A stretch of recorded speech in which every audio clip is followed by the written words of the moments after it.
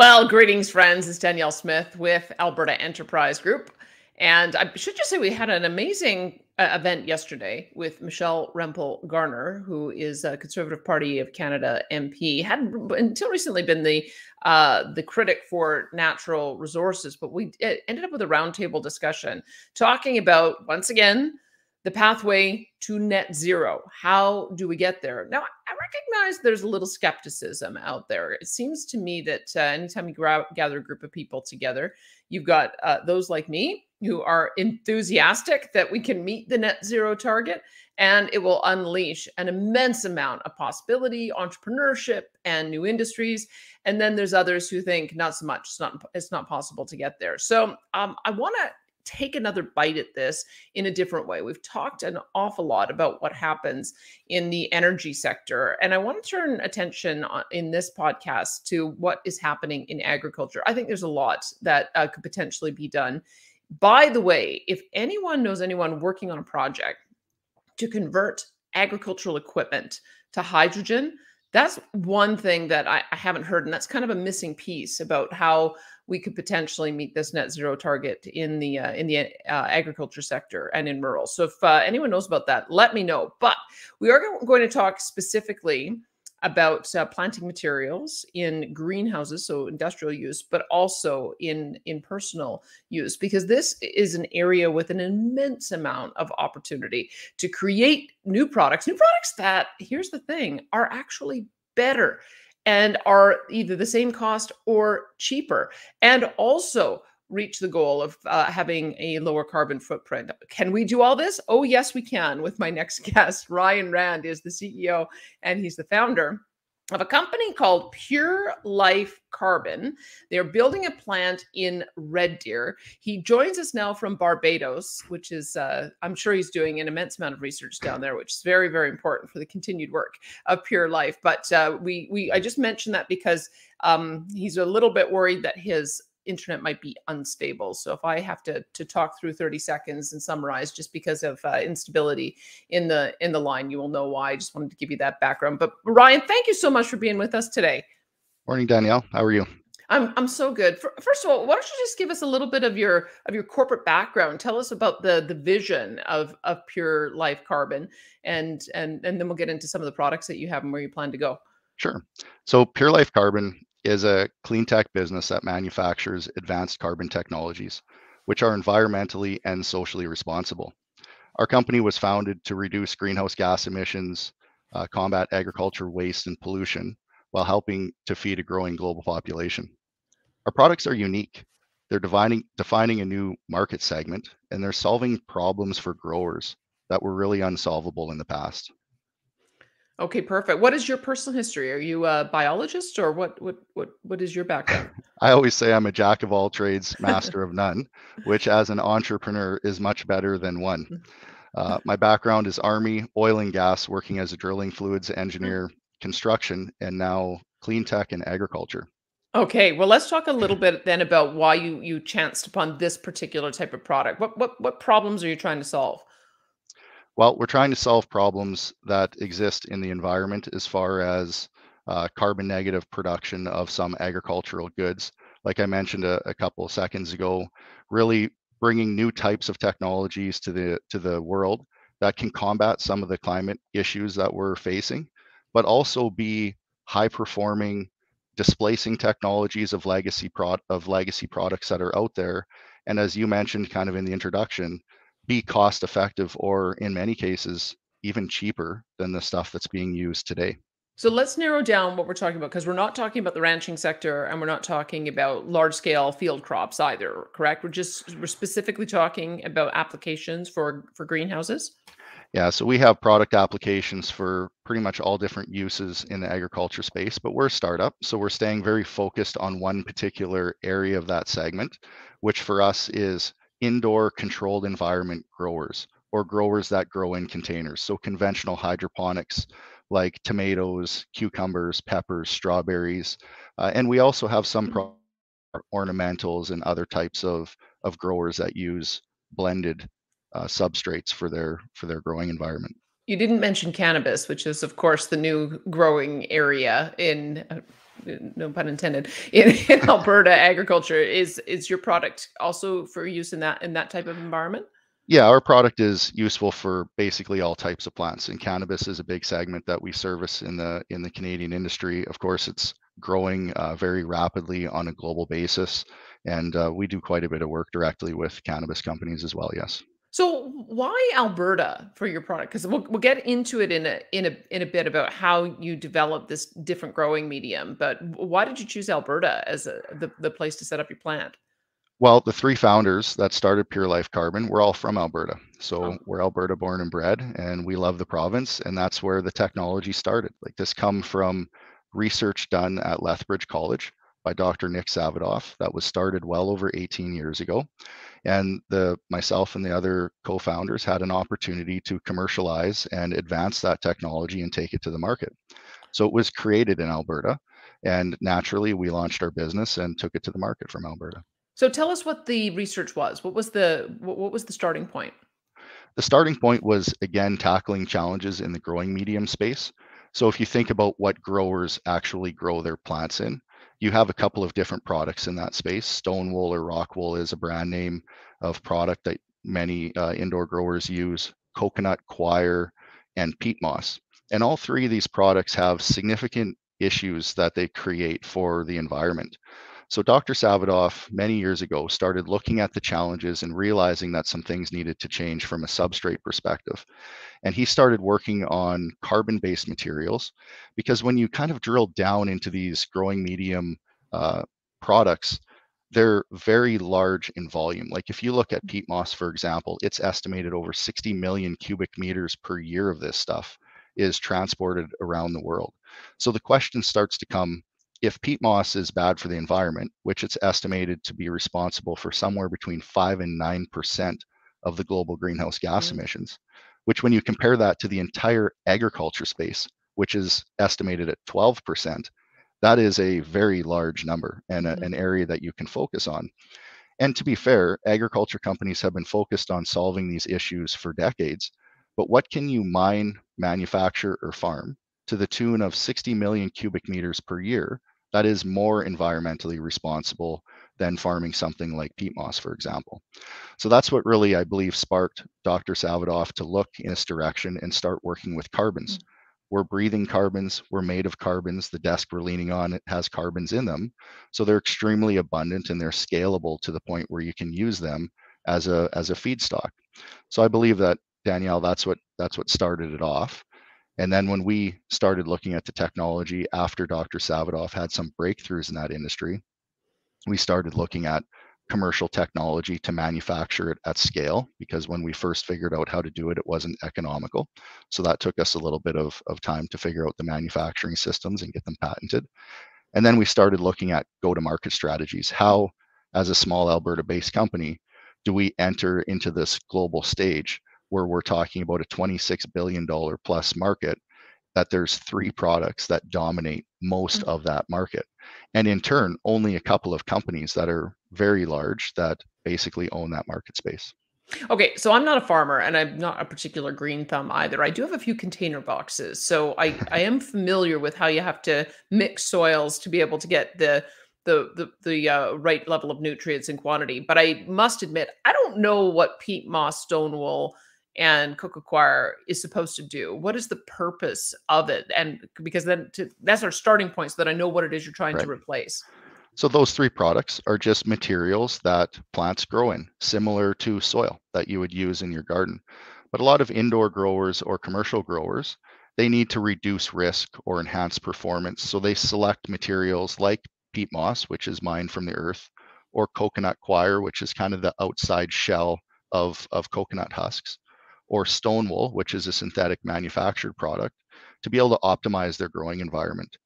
These products typically come with a multitude of things inside of them, nutrients and microbes. Sometimes that's good for the plant, sometimes it's not. Sometimes it has heavy metals, mm-hmm. pesticides, and herbicides. And that's why you hear about some of the, the scares in the food industry around uh, E. coli outbreaks in lettuce, for example, and things like that. These are organic living environments, with the exception of, of stone wool, which is synthetic, and they come with things in them. So we call those uh, growing mediums. That's one way to define them. And growers are really finicky about how they deal with those types of materials. They all have their different mix that they like to use. If you're talking about coconut or, or peat moss, um, in the stone wool industry, there's different volumes or different kind of blends of the fiber that provide different benefits for the for the plants based on what they choose. So our product is a replacement for those materials. Okay. It's 100% carbon based and it's but, meant as a replacement. So what does it look like when you buy it? I guess I'm I'm picturing the uh, the bags of three in one mix that I that I picked up at Peavey Mart last summer. What what would what would I be picking up if I was if I was buying your product? Is, unlike is anything kind of you've it's unlike oh. anything you've seen in the past, which is one of the interesting things behind the product. Like you look at it and you think to yourself, really this is a growing medium. I can grow plants just in this product all on its own. And the way I'd explain it to the audience is it's like a carbon that you would see in your fireplace after you burn wood, mm. but it's small and they're very hard particles. So we're talking about one to three millimeters in size, granular material that, when stacked together, fill up a container, just like a, a peat moss or a soil blend would fill up your container at home. So it kind of just it looks like the leftover from a from a a, a, a wood fire. It does, but it's much cleaner and much harder so it doesn't break down and it maintains its shape long term. Talk to me a little bit about this because I, I mentioned to you when we were doing our pre-interview that I've I know a company in Medicine Hat. I really hope I can get them on called CanCarb.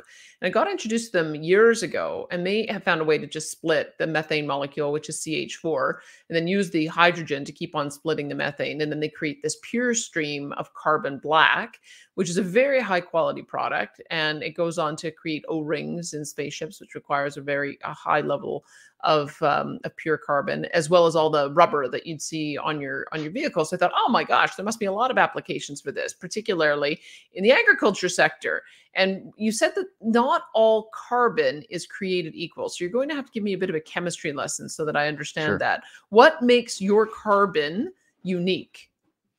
Yeah, that's a great question. And the carbon space, which has interestingly been around for thousands of years, uh, is not well studied in many areas. And there's a lot of advancements coming out of the, the new environmental kind of push to look at carbon negative types of mediums or, or products uh, that can help heal some of the environmental damage that's been done in the past.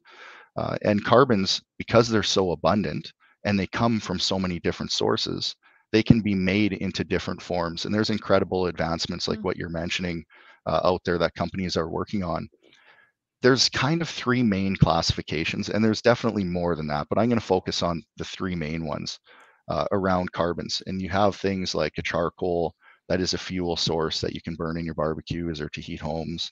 Uh, you have activated carbons, which are used for filtration mediums, like you'll mm. have it in a Brita filter, for example, to filter your water.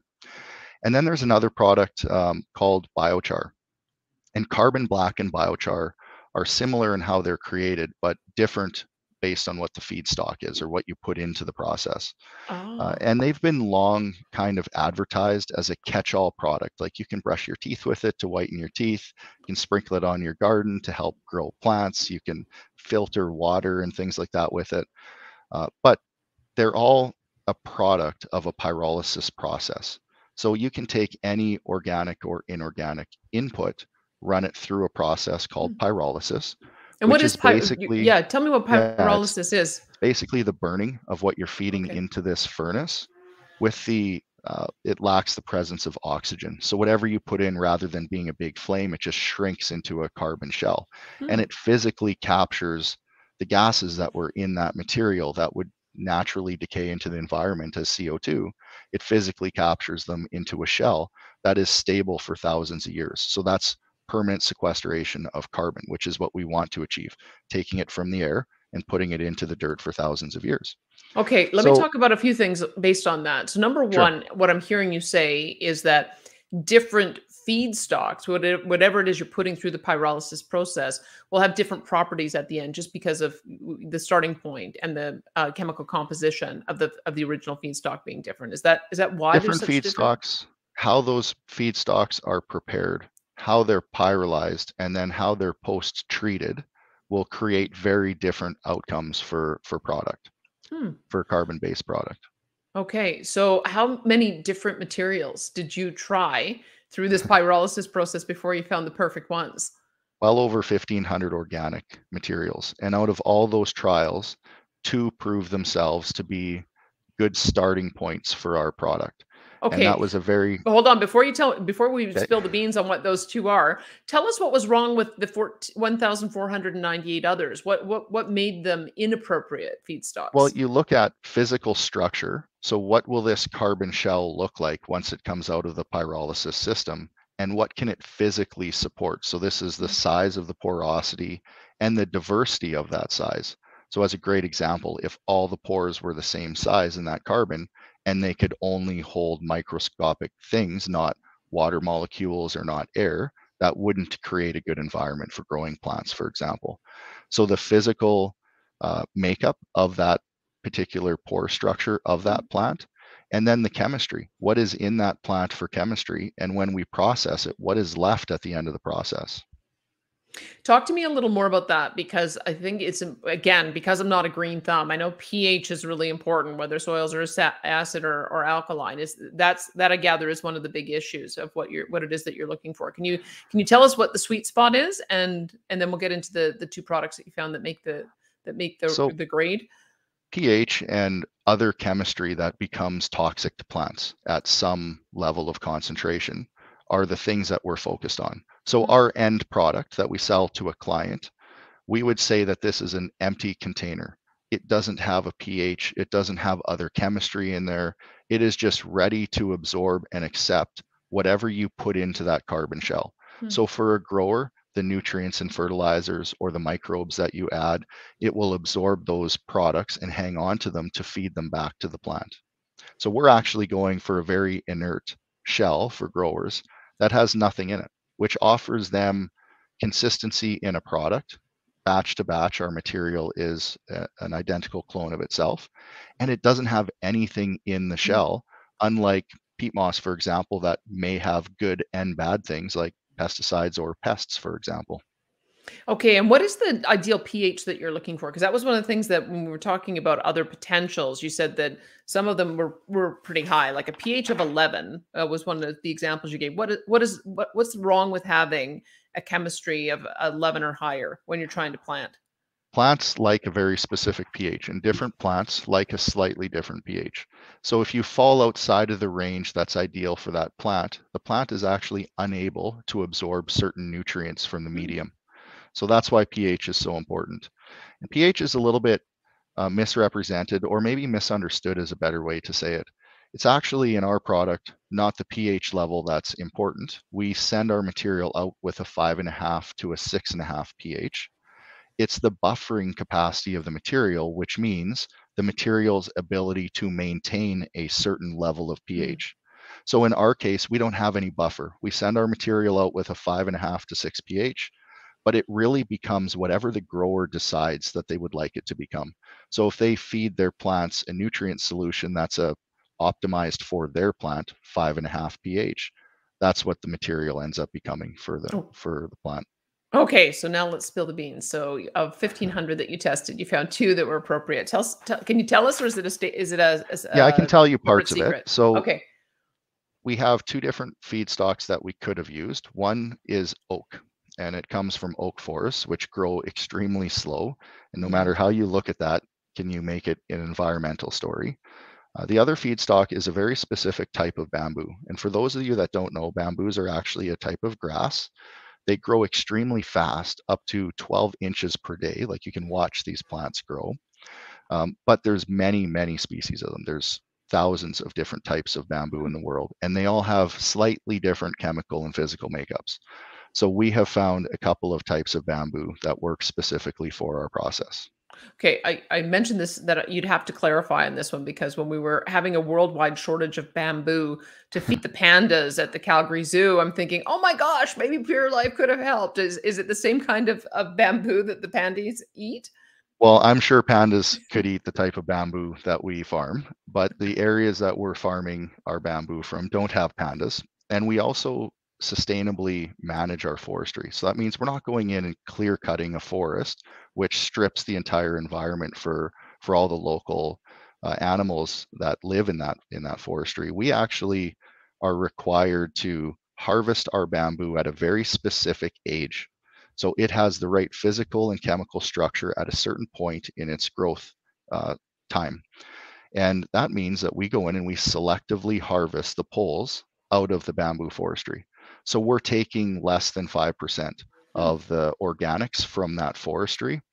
And it's kind of like cleaning up the forest in your, you know, in your backyard. We're taking out the rubbish and the things that would eventually fall over, die, decay, release their gases back to the environment, and then cause a hmm. potential for fires or things like that. So it's about sustainable forestry management, and there's actually carbon tax credits available for uh, forestry that is is managed in the way that we manage it for our feedstock supply. All right, we'll talk about that in a minute. One of the other things that you mentioned is that it's not like you're crowding out higher value crops on this land either. Can you can you sort of explain how you identified the the land for your farms? Yeah, so one of the things when you look at a environmentally and socially responsible company, if we had the perfect feedstock for our material, but it was required to grow on the best farmland in the world, that really wouldn't be a great sustainable feedstock to be able to use. So if you look at bamboo specifically, it grows almost everywhere. And we're mm. talking about land that is not suitable for other types of uses. Some countries actually plant bamboo to stabilize landslides in certain areas for mm. land that's prone to that. So we can grow it in areas where other things aren't meant to grow or aren't useful to grow. So it's sustainable from from that perspective. To, to, this will become relevant in my some of my next questions, but but tell give me an idea of what kind of environment you need to grow bamboo. I, tend to think of it as being more of a, a tropical type of, of plant that it you is. so be able to grow year round. Bamboos will actually grow almost anywhere in the world. You can even plant them in Canada. Just mm. they they may or may not survive the winter, and they definitely won't grow that well uh, from a speed perspective. Um, so there's ideal places to grow. We we grow a lot of bamboo in various parts of Asia, mm. and we are currently working on a reserve down in Mexico. We could also grow our feedstocks, for example, in the Southwest United States. So we look at different areas and some of the key areas that we're focused, the Philippines, Mexico, and India, they already have very large forests that have the bamboo in it that we're after. And they're looking for companies like us that will go in and sustainably manage mm. those forests, not go in and clear cut them and build new high rise buildings in their place. So you've got, I'm just trying to piece together all the elements of your environmental story. So one of them is that you're the land that you're using and the way that you're harvesting.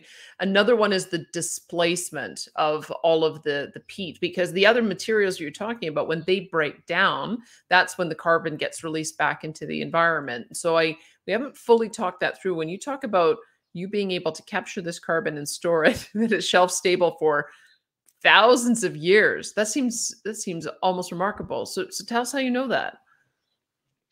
Well, if you look at some of the other products that you mentioned out there, they're they're single-use products. So mm-hmm. peat moss, cocoa, and stone wool, growers use them once and then they throw them away, uh, and they end up in in landfills or they end up going through different types of uh, recycling environments.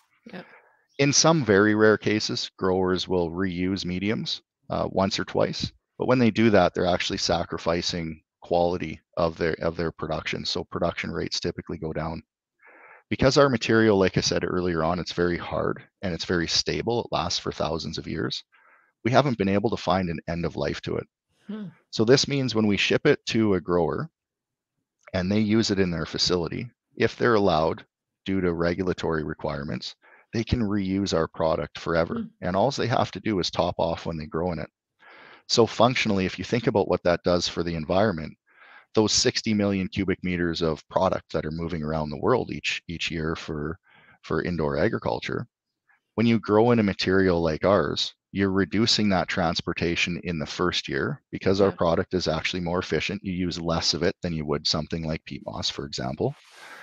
You're shipping less on the first shipment, but on the second and third use, you're preventing the mining, transportation, and disposal of all of these products, which has a significant carbon impact uh, on the environment. And I think Danielle, you know, you mentioned it about skeptics and things like that in your in your opening statement. Um, I'm from the oil and gas industry, and I love the environment, and I love the people, and I love health. But at the end of the day, we're not alarmists. We're not running around saying that we have to solve all these environmental problems or else. But the way we look at it is we can do better. I think every human can look at the practices that we have going on in the world and say, we need to do better than what we're doing today. And that's what our products are really about. And every stage of our business really tries to encapsulate and is driven based off of that. So if you think about how you kind of walk through the different stages of our business, on the upstream side of our company, which is raw material production and sustainable forestry management, there's carbon tax potential uh, or credit potential from sustainably managing forest. And you get that based off of what was that land used for in the past and how are you managing it going forward and is that better for the environment or worse for the environment than what and let me let me let me for. get you to unbundle that a bit because I, I think that that's what we've seen in canada when we have managed forests that are net sinks it's for the reason that you're talking about if you're taking out all the dead wood uh, that would right. otherwise collapse and decay and then it's releasing carbon or methane back into the exactly environment right. you're able to stop that right and this this is where a lot of the arguments come around forestry management. If you're allowing that plant to grow which it sucks co2 for the environment while it does that but then you let it die and decay those gases go right back to the environment. So there's not really a great gain like some of it gets captured into the soil but very little.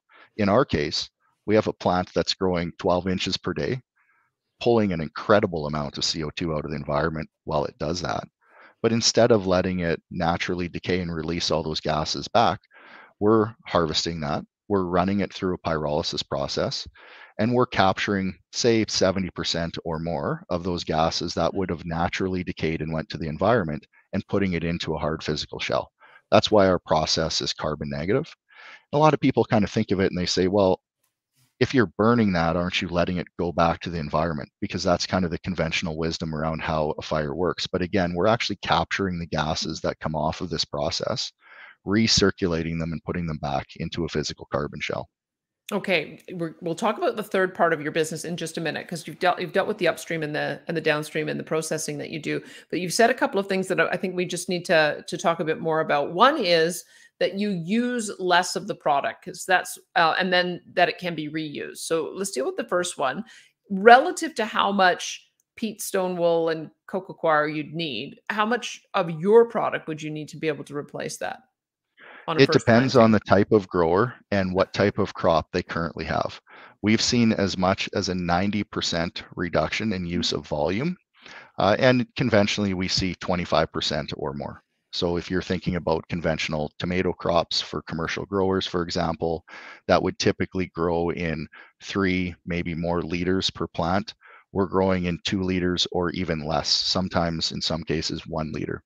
Okay. And then when you say that it can be reused and just needs to be topped up, I guess I kind of think of these types of growing medium as being consumptive, that the, the plants need to consume some of it in order to be able to grow. Um, so, so tell me, tell me why it is that's not the case. That that's interesting because this is these are problems that most consumers don't even know exist with current mediums. It's not that you're consuming the medium, it's that they naturally break down and you mm-hmm. can't use them for a long term because they naturally decay. They're organics. In our product, the carbon shell is just a container. It cannot be consumed. The plant never feeds off of it. It's just a storage vessel huh. for water, air, and nutrients. So you feed that plant through your feed schedule, watering it with light fertilizers and things like that. And that is the component that the plant is consuming. So when the plant is done growing, it's it actually forms a really fine root ball and all of the little granules of our product get stuck together by the roots of the plant. But you pick that plant up, you give it a good hard shake, and all the granules break mm. free from the little root hairs and fall back into the pot you end up with a root ball and a plant that you throw away, which still has a little bit of our product in it. I mean, you can work really hard to get it all out, but commercial growers won't spend that kind of labor doing it. So 5 to 10% of our product needs to be topped off in those environments. They replant back into the same container that they were just growing in, and they're done. They go on to their next crop cycle. That's wild. Okay, so let's talk about uh, fertilizer use and chemical use. Um, do, do, you use, need to use the same amount of fertilizer and the same amount of pesticide in your in using your product? Well, most people don't use pesticide in our product, and that's another area where we're really changing the game for growers. pests do not like our product. Carbon at a microscopic level is like glass.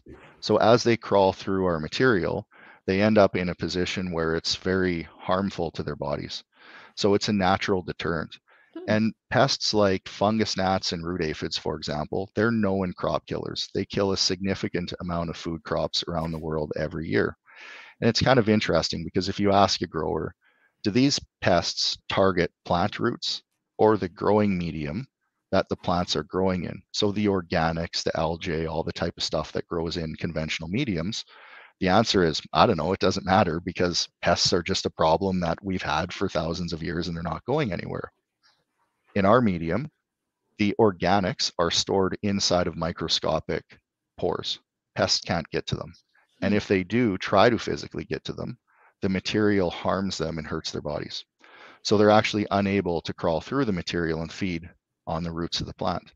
So you're significantly reducing the hmm. risk profile for these for for this type of, of risk. So you might need less chemical inputs, at least on the pesticide side. What about fertilizers? So less less chemical inputs. On the fertilizer side, it's the same or less in every case. Hmm. So if you think about conventional soils, like your garden at home, for example, you spray fertilizer on there and you water and some of it runs off and some of it evaporates and all these things happen that reduce the amount of fertilizer that's actually available to your plants. Our products absorb and hang on to these materials that you feed them. So when you feed our product, a fertilizer, it absorbs all the fertilizer into the porosity and it really holds on to it. Mm-hmm. So we have some growers that have reduced their fertilizer usage by up to 50%. Most growers are reducing their their fertilizer by roughly 10 to 20%. And this really comes down to what they end up feeling comfortable with because they've been doing things a certain way for literally hundreds of years. So it takes a little bit of time to move them into the right direction. The most interesting thing about that, Danielle, is it doesn't just apply to fertilizers, it applies to water as well. You do not have as much water running off or evaporating from our growing medium. So this is a another area that is pretty impactful hmm. from an environmental perspective. No kidding. So um, g- give me a so I've taken the view that the uh, and I think it, this comes from Preston Manning saying that there's a natural affinity between conservatives uh, and conserv- and conservation. They have the same core word at the at the base of it is you shouldn't want to be wasteful. You should be wanting to try to conserve. You want to use less material, use less pesticide, use less water, use less fertilizer, use less land space. Like all of this makes a lot of sense from an environmental point of view. But the other side of it is does it make sense from an economic point of view? So I can see a, a number of ways in which you would be saving money because you're using less growing medium medium that you have to replace on a given year and then also the points that you made about water and and chemical additives. But um, give us a sense of um, dollar for dollar if people were to switch over to your product with all of those savings is it still going to be a premium? Is it still going to cost them more money or do they save money? If you take all the performance benefits off the table and just look at our product pound for pound with other products we're the same price or cheaper. And that huh. almost never happens with environmentally responsible products. There is an economic reason to switch to our product without any of the environmental benefits that come along with it. And then in, in addition to all of the other benefits of using less input cost, you'll save money there too. And labor, all those types of things. So one of the things I didn't talk about and can be a long conversation. So I'm going to try to summarize the best I can. A root system in a plant grows very differently in our medium than it does in other types of mediums. So the root hairs start to grow and they get trapped inside of the same porosity that the water and nutrients and everything else is, is trapped in. When that happens, the root is forced to grow new hairs that grow mm-hmm. into other pores and also become trapped. So you end up with this very fine, I call it angel hair like root system that is extremely high performance. And this is why you can use less volume of our medium versus another type of medium. Extremely high performance root root systems. So from that perspective, you end up with much, much less material, which from an economics and environmental perspective has a very significant impact. I mean, you're, t- you're talking about 80% to 100% less ships transporting peat around the world, less transport trucks or rail cars pulling it around the world, those types of things. And when you reuse the product, you're 100% stopping the farming of peat moss, which is one of the largest carbon sinks in the pla- on the planet. Uh, it's it's estimated that peat moss is one of the best natural ways to extract carbon mm. from the air. It's it's Mother Earth's main defense against carbon in the air. Not to mention the land damage that comes along with physically mining massive amounts of land to pull this stuff out of the earth. Oh, it's amazing the environmental story, which I want to get to as well, because that gets to your third type of business. But you did mention you'd also save labor. Why do you save labor with with your approach? Uh, we save labor because there's a lot of labor in handling higher amounts or higher volumes of material. So you mm-hmm. think about like storage space, you think about uh, the handling of disposal and all those types of things. But also, one of the neat things about our product is most growers don't transplant in it. So transplanting is kind of one of those activities that we understand plants go through different phases of growth and they require bigger volumes of substrate to grow in. In our product, you can start a seed in a 1.5 liter container of our product and you can grow it all the way through to a completed six foot tall tomato plant that has been commercially producing. Huh. You never have to move it, you never have to transplant. So there's significant labor reduction on that end. It's remarkable. Okay, uh, let's let's talk about the third part of your of your business as well, which is doing the very hard work of tracking and reporting the the carbon footprint because this is um, this is one of the areas I'm greatly frustrated with because it seems like our industries are doing amazing jobs in addressing this issue of reducing carbon, but we don't get credit for it. It's like I'm not I'm not sure where the barrier is because it seems to me that it should be very easy for us to start monetizing these streams. I don't know if I mentioned this to you, but I, I, have mentioned it before that when I was on radio and Justin Trudeau was talking about the um, the way in which he was buying carbon credits, it came from a landfill that was capturing methane and flaring it, and that created enough of a reduction in emissions that it generated a credit that could be monetized. And from what you're telling me, all of the ways in which you're genuinely reducing and capturing CO2, genuinely reducing methane, reducing transportation uh, fuel, it seems to me like there should be a way to do a baseline test capture the amount of savings and then be able to turn that into an additional revenue stream. So tell us a little bit about that process it's complicated. Yeah. So we actually we stood up we stood up a division in our company called ICO. It stands for Environmental Impact and Carbon Offset. And this is a division that kind of shadow functions inside of our upstream and downstream business. And it basically tracks everything that we're doing in a very, very transparent way. Because there's a lot of what they're calling kind of greenwashing or clean washing out there. It's where they take something that's not that great for the environment and try to make it sound like it's really great for the environment. Uh, and then they end up basically creating a bunch of confusion and questions like what you're starting to ask about some of the some of the projects that are being done out there i don't want to get too critical on a specific type of project because i think the whole world needs to work together to just be better from a clean or a green perspective. So if they are moving uh, something in the right direction i think we should be supportive of that and not try to beat them up too much on the technicalities. But there really is a lot of companies out there that are spending hundreds of millions of dollars advertising how amazing that they are and becoming market leaders in their segment around what they do but they're not actually doing anything. They haven't mm-hmm. put any money into projects or equipment or or technology. They're just talking like they do. And we we run into this issue all the time but i'm going to digress on that because i can get off on a on a major tangent there. I'll get back to ico and the carbon the carbon tax credit side of the business. For us what's important is whatever we're doing, we're being ultimately transparent about. Mm-hmm. We want people to criticize, we want input into our business around how we can do better. So ICO was designed to be able to track, leverage third party advisors. And then optimize what we're doing. So we break every part of the business down. For example, sustainable forestry management that we talked about earlier. What is the land we're managing it? How are we truly managing it? How are we treating the farmers that manage that land? How are we paying them? How are we doing all of these things and pull that together for a true story that's validated by a third party around what we're doing there? Now there's something called carbon pathways and if you haven't heard about that that's what you need to be able to fit into in order to be able to create a monetizable carbon tax credit at the end of the day. Before we before we get there, let let me just uh, talk to you about a couple of things. Um, you mentioned these third party assessors or advisors or validators. H- who are they? Are they are they Canadian companies? Are they international companies? Where would somebody who wants to go through the process you're doing of finding a pathway? How do you even get in touch with one of them?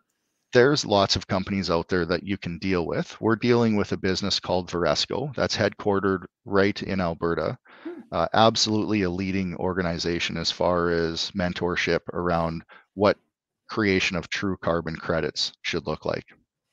Okay, I'm going to get the number from you because I think I should follow up and do a, a separate um, a separate podcast with them. So that's number one. Number two, the carbon pathways. This is the thing I've been sort of scratching my head over. I don't know who has the authority to create those pathways. It seems like it can be created through government legislation. And I've seen some legislation from South Africa where they identify a fairly small number, but at least it's clearly defined of what the pathways are. In uh, Canada, because we've got a split between the authority over environment between federal and provincial, are the pathways determined by the federal government? Are they determined by the provincial government? Or do you have different ones when you go from province to province? Can you can you just shed some light on that? I can shed a little bit of light on that. And then I would defer you to a conversation with Karen over at Viresco because Beautiful. she is much more experienced on this than I am. And to be honest, I'm just learning, and so is most of the world. This is a new segment. So if you look around the world, different jurisdictions are doing things much differently. You have private markets for carbon credits, and you have public or government based markets. And just depending on what your technology is and how it functions, you can fit into different areas of that market. So I'll focus specifically on uh, provincial and federal markets because that's what we're working on mostly with Viresco. And that's really, there's these defined pathways that you can try to fit your business into. So, for example, there's a pathway that already exists for sustainable forestry management. So, we can spend a year of time and maybe close to a million dollars worth of capital and fit our business into that already existing pathway. Then we can look at other things that we're doing, like the reduction of transport of peat moss globally. So if there's 60 million cubic meters of peat moss moving around the world and only six of our product, that's a significant environmental savings. Or if you have products that are uh, single use versus our product, which is reusable for decades, that is a very good thing for the mm-hmm. environment. But those pathways have not been created. So we actually need to invest through companies like Viresco, for example, in creating those new pathways, which take many years to accomplish, hmm. millions of dollars in capital.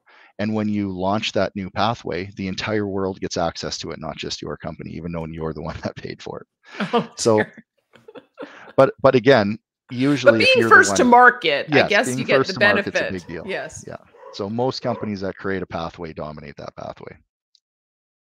So would yours then have uh, would you have two aspects? Would because you talked about the upstream and downstream, or would you have an integrated approach?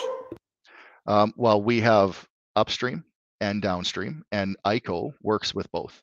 So they would be taking all the credits that come from one and all the credits that come from another, putting them together, and then taking those to the market in a holistic way. So it's one of the ways that companies like ours look at potential revenue sources for our company.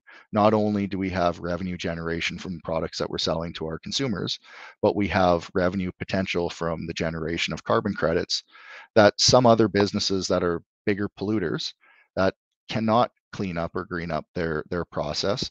They'll choose to partner with business with businesses like us because they want the long-term potential of our carbon carbon offsets. I think that's really important if you don't mind if i dig into this just for a minute. I get asked by a lot of environmental types like why would you want to partner with an oil and gas company around the environment and carbon tax credit creation? Because there's kind of that stigma out there like these companies are bad and these companies are good the reality is is that those types of businesses aren't going anywhere. Even if we try to move away from fossil fuels over time they're still going to be with us for a long period of time and they're important to our economy and the way things function.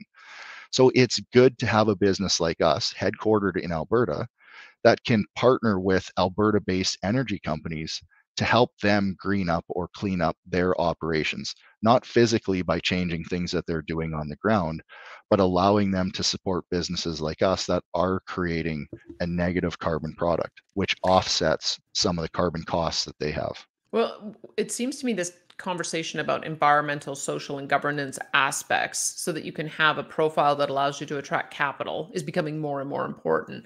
And so um, I think in the past, we've seen a lot of energy companies invest in wind or solar in order to be able to make that case. But what I'm hearing now is that there's other ways that that uh, energy companies can invest in other types of product lines and other businesses, and then be able to improve their ESG score, which then improves their ability to, to attract capital. Is that how this is supposed to work? Yeah, there are phenomenal companies in Alberta, not just ourselves, that have incredible technologies that are changing the game on a global basis for the for the environment while producing materials that are highly valuable to the consumer base. That's fantastic. Okay, now get getting to the issue of regulatory compliance. This is the thing that drives me a bit bananas is that everyone is talking about the urgency to address this problem there's companies out there like yours who are urgently trying to do it and then the regulatory process takes years before you get validation i mean what is the the holdup maybe i don't want to get you in trouble with any of the regulators yeah. uh, but maybe you can give some advice about what you're seeing as as some policy improvements at the federal or provincial level to make it easier because it, it seems to me these these pathways should be easier and faster to, val- to validate because then that creates a revenue stream for other companies, which in, in would incent them to get into the market faster, which would then accelerate some of the kind of investments we're talking about. Um, and that, and that's why I'm sort of perplexed about why it's so difficult to go through the process. Well, there's kind of three areas that I'd like to talk about here, and I'll break each one of them down. But these are significant challenges for companies like ours to be able to build our infrastructure and launch our business from a certain demographic or a certain province like Alberta. So the first one that I'll pick on a little bit, and I want to be careful because, like you said, this can be a dangerous conversation. So I'm trying to be as respectful as I can, but fitting into existing framework. So when you have a new technology company that has created something completely different, I mean, the, the product doesn't fit into any conventional regulatory requirement standard that exists you run down this path where the regulatory bodies aren't really sure what to do with you. Hmm. And we had this happen to us the first year that we launched our business. We were required to have a certain certification. And we looked at you either fit into what exists or you invest heavily in updating those regulatory requirements to fit the new type of product that you're hmm. bringing to the market. Well, startups, especially technology ones that have spent all of their capital on research and development and actually manufacturing so they can get into a, a place of revenue, you find yourself running up against a serious conundrum. Uh, if you can't fit into what exists, you have to create something new, which takes time and money. If you do fit into something that exists, or they they push you into that box, which is what happened with us, you're not a perfect fit, and it typically delays and drags out the process a little bit. So the dilemma becomes do you invest significant time and money into fitting into this regulatory environment? Or do you invest that money into the advancement of your company in other ways that you need to advance to get revenue generation so you can apply for grants and all the other types of supports that are out there? This this was a big problem for us. We went a year and a half without getting the approvals that we needed to sell our mm. product. And I was literally told we should sell our technology to a bigger company that has more money that can weather the storm. Um, and I was just in shock when I when I heard that. But uh, we weathered the storm. We went almost a year and a half without sales before we got what we needed to be able to start commercially testing the product. So that's that's kind of a, a framework challenge. It's like you don't have the money to invest the time or the capital into fitting into the framework, but you don't have a choice. You either do it or you don't have a business. That's and, really frustrating. We hear that we hear that so much that the permitting process is what really is the delay. It's wonderful that Alberta has an 8% corporate tax rate, but if it takes you 10 years before you're large enough and big enough and profitable right. enough to pay the 8%, you uh, you've got a 10-year existential problem of trying to make sure that you, you survive right. that long. That's a so good you, point. You jumped right into my next point like yeah. around around tax breaks or grants and how they work. In our experience so far through all the different entities, they're looking at proven businesses with proven track records mm. and proven revenue streams. Well, those types of businesses, if I'm a multi billion dollar company that has new technology and I'm looking for governmental support, I care about tax rates more than anything else, more than small grants. companies that are startups that don't have revenue, tax breaks are important to the future operation of our company, the long term success of it.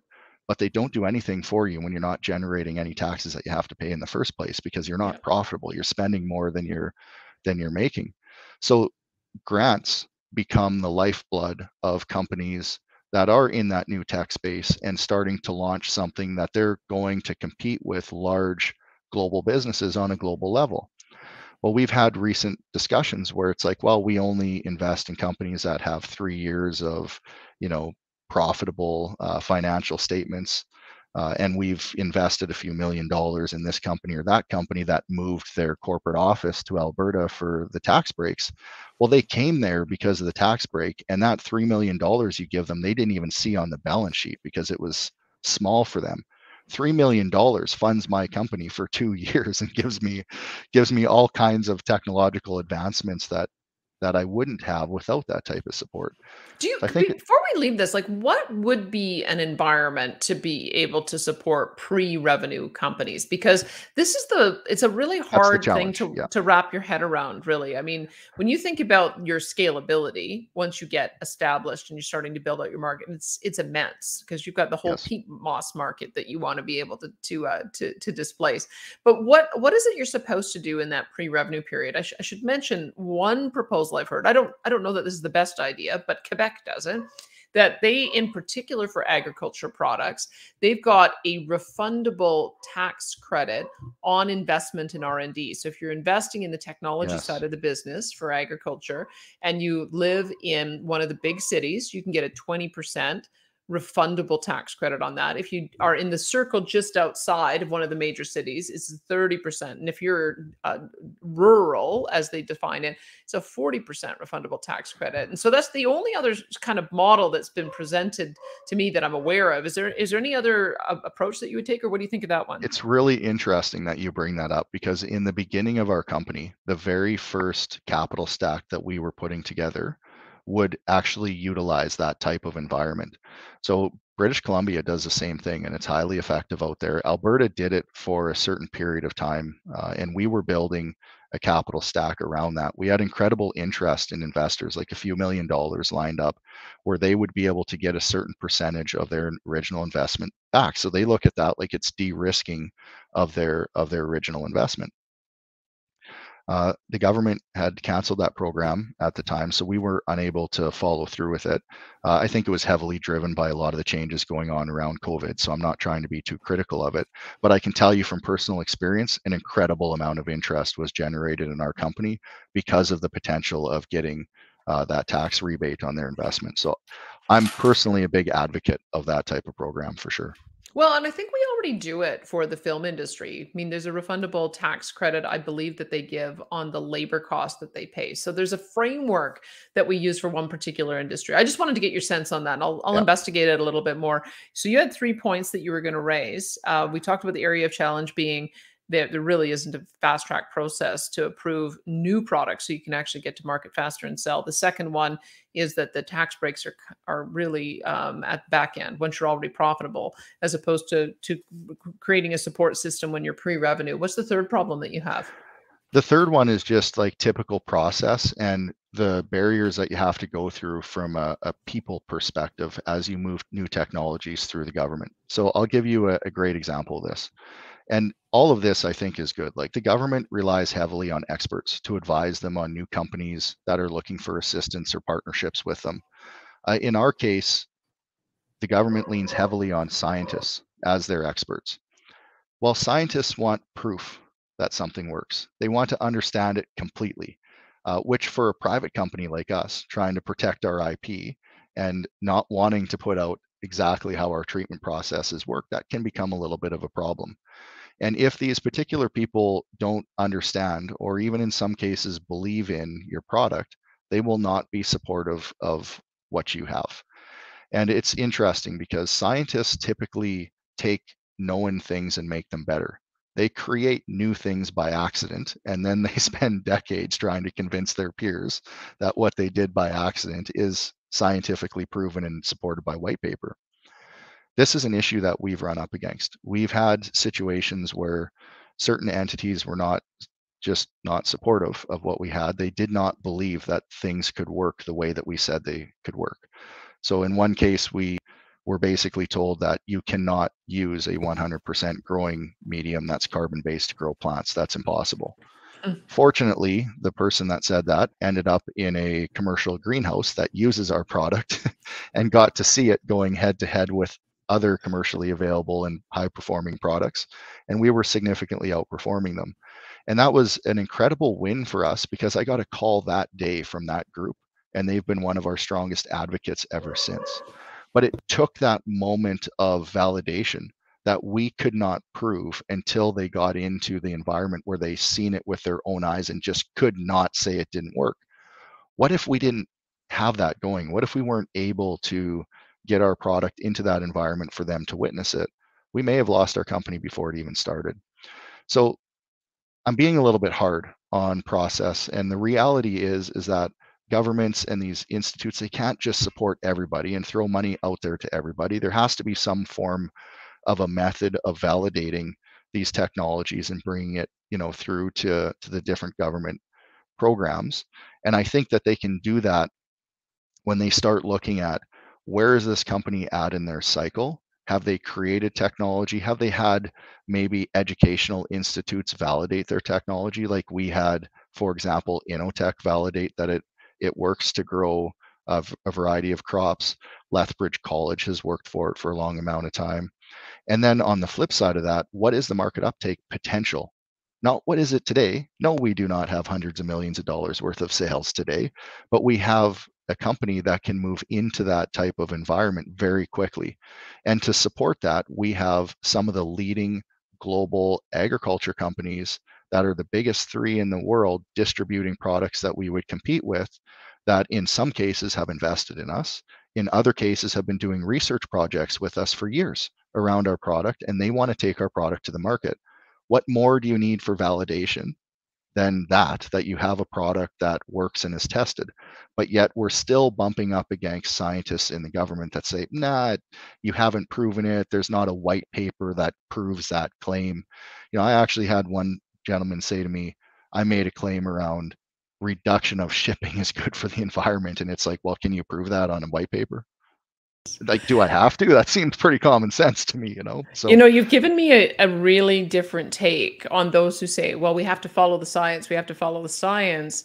What that actually is doing is putting in, in barriers and delays in some cases, particularly in the case in of entrepreneurs. Cases, I yeah. bet there's I bet there's a ton of people who are confronting the same problem that you are as they're trying to get validation for projects, uh, uh, uh be, especially because there's a consumer safety point of view. There's um, you want a consumer protection point of view, so that you're not selling something that doesn't work. But you're right there. There has to be a, a better way of doing it. I wonder if you've maybe chanced upon the solution. There is that you uh, do a pilot project and then one of the regulators gets embedded for a year to watch it actually work so that they can validate with their own eyes that it actually works like participate in the experiment themselves so that they're they're not skeptical. I wonder i wonder if if there's something to that or do you have some other suggestion? You know i'm not sure and that's the tough part like it's easy to point fingers and say there's all these problems that exist it's not so easy to go out and fix them while mm-hmm. you're still protecting the government and the people that fund the government's interests. So I don't know what the right answer is, Danielle, but I, I do know that uh, we need to have a look at some of these new tech companies. And again, not just companies that are optimizing something that already exists, but companies specifically that have created something that doesn't exist and is very different. And in that environment, we need some form of governmental system, probably with a balance of science and business and, and economics people that can look at these companies, talk to our partners, talk to the education institutes, and actually put together a process of we're going to validate that this business has what it says that it has and that they can take it through to the market. The, the notion of trying to get to yes as opposed to look for reasons to say no that's a, oh a consistent issue that yes. we get if you if you start off saying we want to work with you and we'd like to get you to yes faster let's figure out a pathway to do that that would change the experience completely Okay, let me tell you what you've got a few friends here. Uh, Ron is saying re- reduce risk from pests, reduce need for fertilizer, reduce need for water equals great value proposition for greenhouse hydroponic growers and environmental advocates. Uh, David says our experience of using it has been a growing game changer. So you've got a, one of your customers who's listening in. He's been trying tomatoes, peppers, and he's going to be trying others this year. Um, says, uh, and Haiti says, I have yet to find a plant that will not grow in charged carbon from fruits, vegetables, cannabis, ornamentals, and cut flowers. They all love the product. So you, you've got some some customers out there who are giving you some endorsements. Feel pretty happy about about what you've provided for them. Give us some sense of of where your customer base is right now. What tell us some of the things. I mean, we've already heard from a few. Tell us some of the things that that you've been able to to do with this product. Who are your customers right now? Well, we're focusing mainly on indoor commercial uh, facilities. And the reason that we're doing that is we have limited product supply. Our Red Deer County facility, we've raised $14 million to complete the production of that plant. It's roughly 60% complete. Uh, we just got a partial occupancy uh, permit on the building, so we're now starting to produce some material in, in a reduced fashion out of that facility. And we choose to provide most of that product to the really big influencers in the market on a global level that can test, validate, and build what we call grower tools or standard operating procedures for specific plants being grown in a commercial environment in our product. So a lot of our product is going out to the to the trial customers that are creating things that will help us launch and expand the company very quickly in the future. From there, we have a few select growers that have already gone through the trials with our product, and they're growing things like tomatoes, strawberries, cannabis. Um, we have some local Hutterite colonies that are doing all their plant starts this year in our product for their indoor commercial greenhouses. So it's starting to catch on across all different segments which is the truly exciting thing about our product. Like it helps all types of growers so they can use it no matter what they're growing for a plant.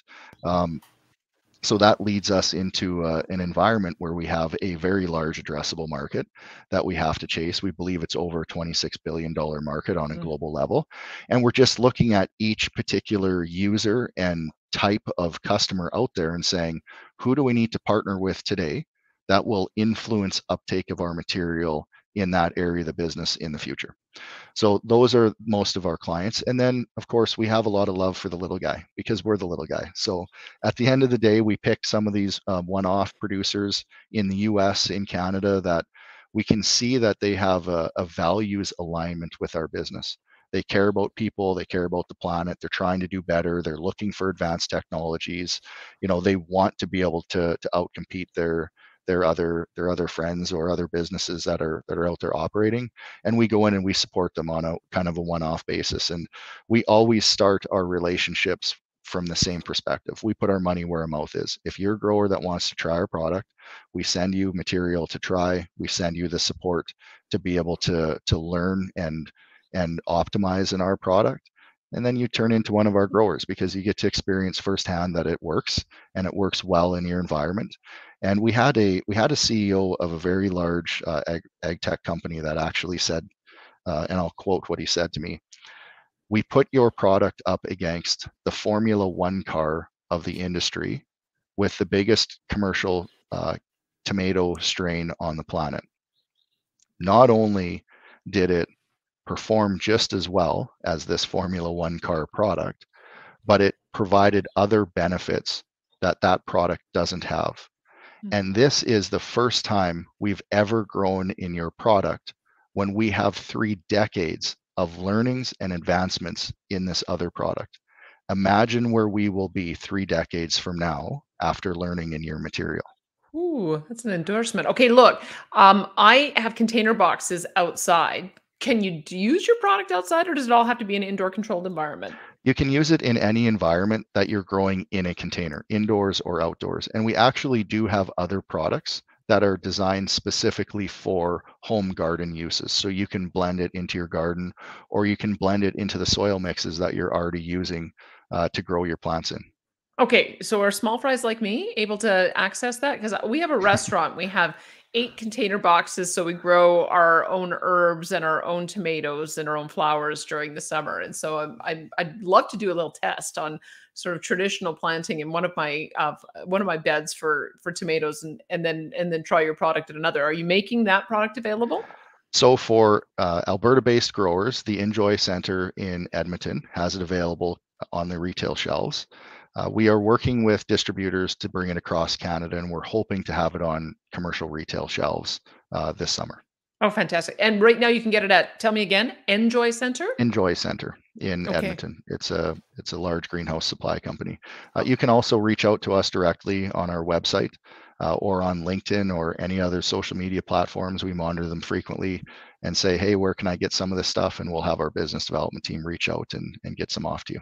All right. I love the sounds of that. Ryan, did we cover everything you wanted to cover? We covered a lot of ground, uh, but we did, I did know that there was a lot of ground to cover. Is any other final words here? No, I just really appreciate getting the opportunity to speak with you today. Uh, it's been a great platform, and I think you're doing great things for the Alberta economy. Well, back at you. I think you're doing great things for the Alberta economy, and I'm looking forward to seeing more. Thanks so much for your time today. Thank you very much. All right, Rand, uh, Ryan Rand. He is the CEO and founder of Pure Life Carbon, and what a great story on so many fronts. This is the perfect window when you can find a product that makes sense from an economics point of view, makes sense from an environmental point of view, and also has uh, the kind of endorsements that he already has on the performance point of view. So, um, anytime you come up with wonderful stories like that, let me know because I think we're going to end up finding more and more of these problems, especially as we get into this world of innovation, that it could be that the regulators are standing in the way and putting up unreasonable barriers just because something's new. But entrepreneurship is all about something new, finding something that's game changing. So if you've got any other products that you want, you think that we should uh, take a look at, and if there's any way we can add our weight with Alberta Enterprise Group to trying to clear away the cobwebs, we'd be happy to do that. I'm Danielle Smith, president of the Alberta Enterprise Group. We'll see you again next week.